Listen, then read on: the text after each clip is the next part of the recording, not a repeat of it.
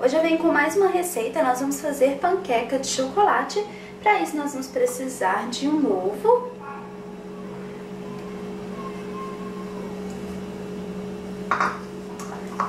uma colher de sopa de farelo de trigo e duas colheres de sopa de farelo de aveia, estão juntos aqui.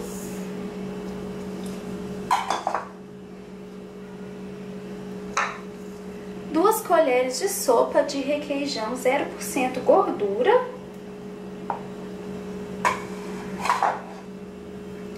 Meia colher de sopa de adoçante culinário.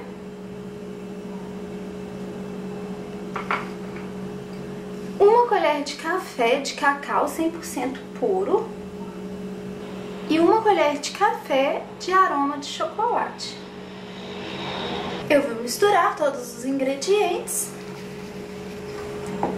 a massa vai ficar assim e nós vamos levar ao Eu estou aqui com uma frigideira antiaderente desligada e eu vou colocar a minha massa nela.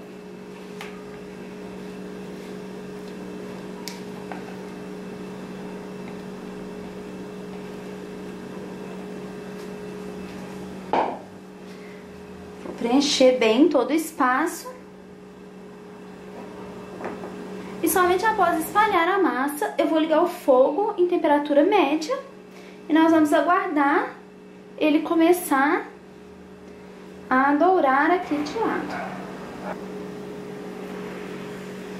Eu vou sempre verificando as bordas para não queimar. A frigideira antiaderente ajuda muito.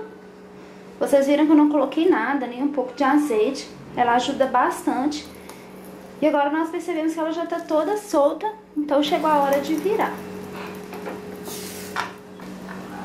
Após virar, é só esperar uns dois minutinhos e já está Essa é a panqueca de chocolate pronta, uma receita super simples e rápida e fica bem saborosa. Eu espero muito que vocês tenham gostado. Se gostaram, não deixe de dar um gostei aqui para ajudar na divulgação, para que mais pessoas assistam os vídeos. E se você ainda não é inscrito aqui no canal, se inscreva, assim você recebe todas as atualizações em primeira mão. Um beijo e até o próximo. Tchau!